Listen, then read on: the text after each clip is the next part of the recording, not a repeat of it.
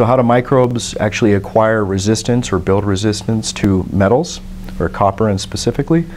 Well, there's a number of different mechanisms. So remember, copper can, if it gets inside the cell, it becomes, it, it's highly toxic.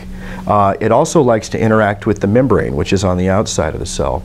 So not surprisingly, microbes have evolved the mechanisms to be able to prevent it from getting inside the cell.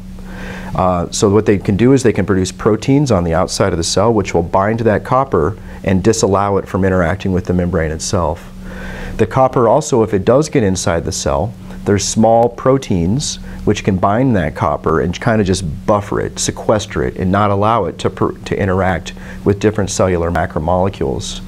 Uh, another mechanism is if copper is in the cytosol, they can, they can produce pumps that'll pump that copper outside of the cell and uh, more or less, the addition of all these different things, the addition of buffering the cytosol, preventing copper from interacting with macromolecules, pumping copper to the outside of the cell if it does get in the cell, and binding the copper so it can't interact with the membrane, more or less can prevent the organism from succumbing to a copper intoxication.